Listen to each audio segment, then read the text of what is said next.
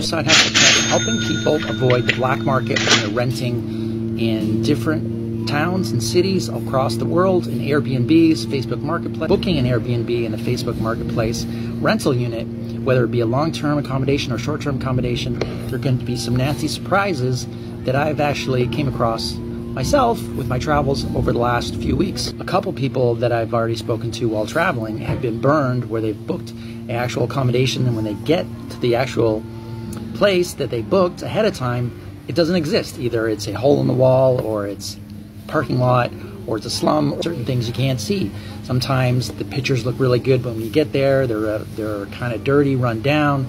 Or a big problem that I ran into is I booked a place that looked amazing, and then when I got there, there was noise, there was renovations, which just drove me insane.